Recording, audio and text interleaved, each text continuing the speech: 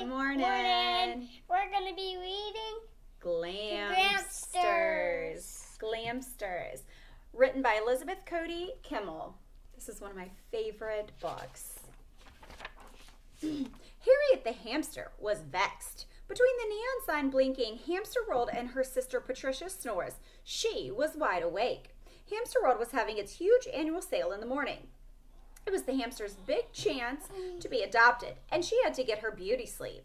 Harriet decided to read some of the magazine pages the assistant store manager had used to line their cage. Sometimes she got lucky and found a whole issue of Nuts and Seeds Weekly or Hamster's Digest. She loved reading the pages of Hamster at Home, filled with photos of hamsters and their luxurious new homes.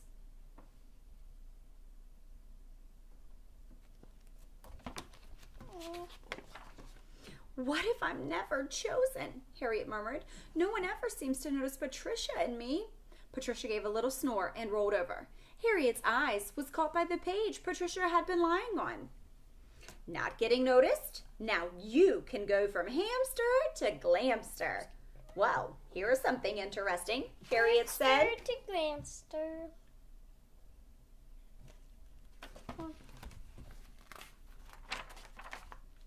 Harriet scanned the article, and her eyes grew wide.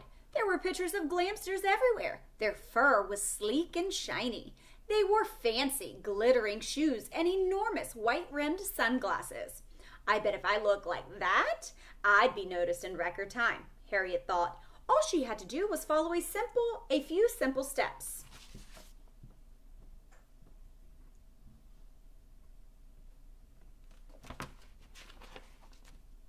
Harriet took the five minute Rate Your Glamster Potential quiz. She chose her signature colors and filled out a questionnaire called Is Your Coat Dazzling or Dull? Yes, no, or maybe. She checked maybe. She created her own version of their high gloss and glow fur volumizer using carrot juice, water, and essence of sesame seed husk. She rubbed the potion over every inch of her fur, just as the article said. Why, I feel tingly and sleek already, Harriet declared. Patricia continued to snore away.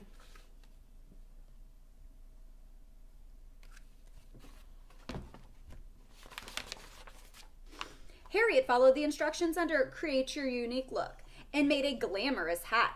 She used a wrapper from a Lifesavers tropical fruit roll to give it an exotic rainbow look. I can practically feel the glamour oozing out of me.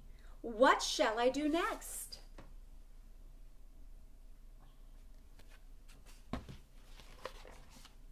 Harriet looked at Patricia. Then she knew exactly what to do. Using slivers of leftover seed packaging, Harriet fashioned Patricia a lovely set of whisker extensions and glued them into place with celery paste. They looked so nice, she made another set for herself.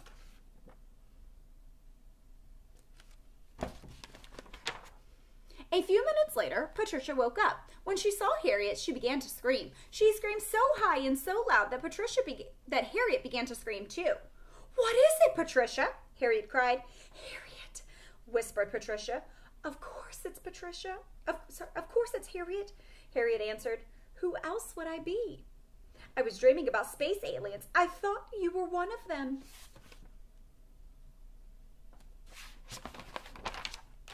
Harriet laughed. It's the new me. Patricia, I've transformed myself. And she gave a little twirl. Ta da! Harriet announced, I'm a glamster. Wait, can I see? Can I see? Mm-hmm. That's a Glamster? Mm-hmm. Patricia just stared. Darling, it's the key to getting us noticed. Patricia shook her head. Oh, Harriet, I don't know what to say. That's all right. You're my sister and I love you. We'll give you a makeover too. Patricia looked Harriet up and down. Wow.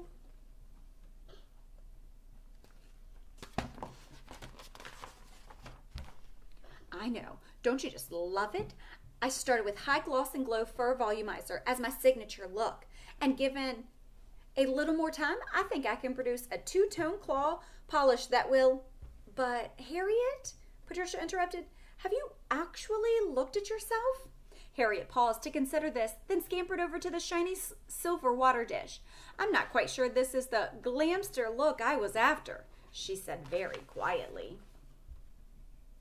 Can I see? Yes, baby. So you're looking at herself in the mirror. That's water. Mm-hmm. Patricia put a paw around her sister. Overhead, the lights began coming on. Hamster World was opening for business. Harriet buried her face in Patricia's soft fur. What was I thinking? Harriet moaned. No one will ever will want me now. I'm Franken Hamster. Harriet, Patricia said, some nice little girl is going to take you home, and I'll be stuck here, and we'll never see each other again. Harriet wailed. Harriet, Patricia repeated. We've always been together. Harriet howled. That all that really matters, and now it's too late. Mommy, look, she's crying. She's crying because they might be separated. Harriet, snap out of it. Patricia picked up Harriet and tossed her into the water bowl. Harriet spluttered and swam until Patricia reached in and hauled her out. Well, that's definitely an improvement, Patricia said. The magazine? Harriet paused between words to let her teeth chatter. Said we needed to be glamsters to get noticed, and today is the sale. Patricia pulled, pulled a flannel scrap out of the bed pile and began toweling Harriet off. That weird water. All of our brothers and sisters got homes, Patricia said.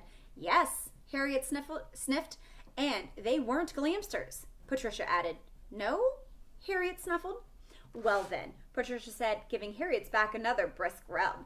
You don't look like Frankenhamster anymore. The family resemblance is back. Harriet noticed a little girl a few feet away, watching them closely. Really, Harriet? You mustn't worry yourself so, Patricia chattered, still rubbing Harriet with the towel.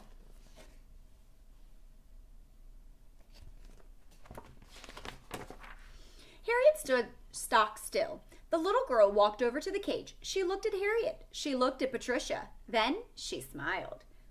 Patricia, Harriet whispered, I think we're being chosen. Patricia nodded. How do I look?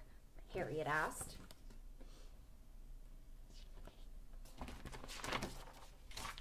Patricia leaned in close to her ear. You look, she whispered, like you. Harriet put her hat back on her head and beamed. All right, Colton, what is something you learned from this book? Um, I don't know. Do you think you should try to be like other people? Uh, I don't know. Do you think it's good to try to be like somebody else? Yeah. You do? Mhm. No, you should be Colton and only want to be like Colton. Yeah. Yeah. So I think that's what the hamsters learned in this book that you need to just be you and not try to be somebody you're not. All right. Thank you for listening. Bye.